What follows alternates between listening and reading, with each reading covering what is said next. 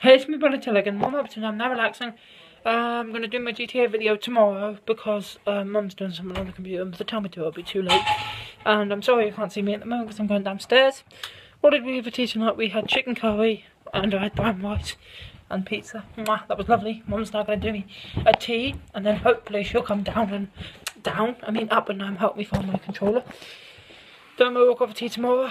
Um, what am I doing tomorrow? We've got maths, English, there's a bang because it's um, Wednesday.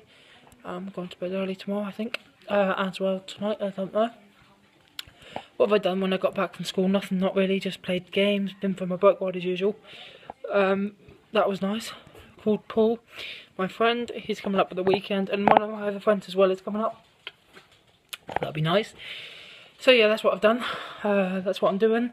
Now I'm going to put the kettle on for mum to make me a tea. So anyway, I'm not going to let it go. Please like my GTA videos, like my last video, and do like my dog videos.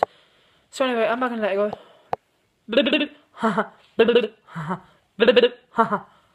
Bye.